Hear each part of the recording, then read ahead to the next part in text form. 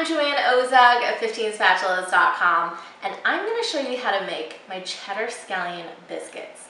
These biscuits, they're so good. They're crisp in the edges, but they're tender and flaky and soft in the middle. And when you bite into them, you get the gooey bits of cheddar cheese. Really good. There's no fancy machinery required, super easy to do. Let me show you how to do it.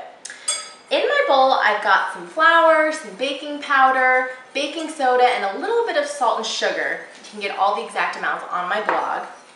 And I'm just gonna whisk that to combine and add four tablespoons of cold, diced, unsalted butter. And just like with puff pastry or pie crust, the key to getting something flaky is to make sure you use cold butter.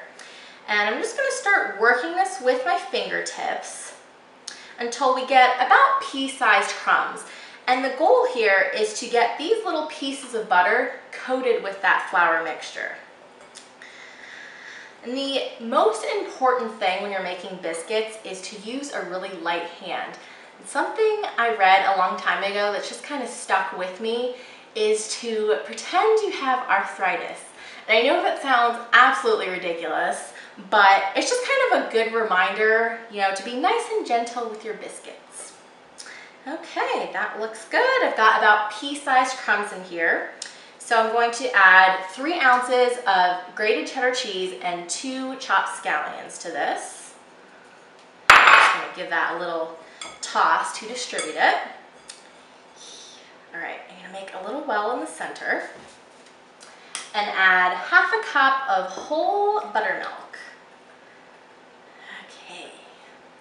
So I'm gonna start moving this around and you wanna think of this as distributing the liquid as opposed to stirring because once this buttermilk is kind of evenly dispersed throughout, you wanna stop stirring because any extra stirring you do is going to develop excess gluten and that's gonna make your biscuits tough, which, you know, no one wants hockey puck biscuits. okay, that looks great going to be a really wet, sticky dough. Now it's time for my favorite part of the biscuit making, which is to flour the countertop. I love doing that, it's so fun. It's just a little, you know, mini sieve. So I'm gonna dump out my biscuit mixture. And I'm gonna flour the top just a little bit so my fingers don't stick to it. And basically pat it out into about an inch, inch and a half thick. That looks good. You take my little biscuit cutter and start cutting out my biscuits. That goes onto my baking sheet. And I'm gonna finish cutting these out and when they're ready, I'm gonna pop them into a 450 degree oven until they're puffed up and golden brown. All right, so I just turned off my oven.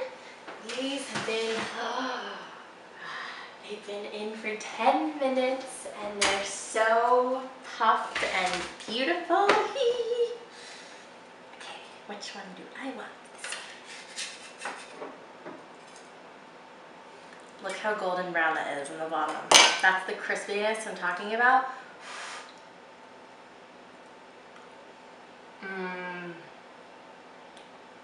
Oh my gosh. That is a biscuit cloud. That is so soft and flaky and light in the middle. Mmm. And got a slight onion flavor from the scallions and the gooey cheddar cheese. So good. You gotta try making these, seriously, they're so easy. You can find this recipe on my food blog, 15spatulas.com. I'm Joanne Ozug. Thank you so much for watching and I'll be back soon with another scrape-worthy recipe.